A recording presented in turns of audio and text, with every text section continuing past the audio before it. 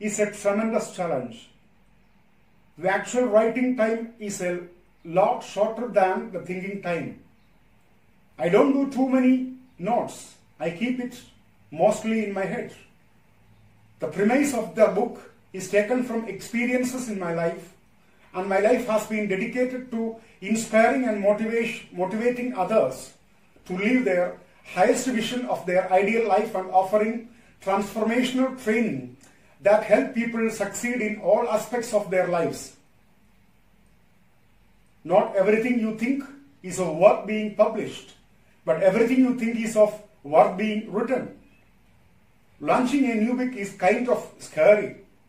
You spend such a long time along with your characters, and then in one sudden moment, they are running wild into the hands of strangers. Put your head, mind, intellect, and soul, even to your smallest acts. This is a secret of success. Do the things you like to be happier, stronger, and more successful. Only so is hard work replaced by dedication. Talent means nothing, while experience acquired in humanity and with hard work means everything. I like work, it fascinates me, it fascinates me. I can sit and look at it for hours.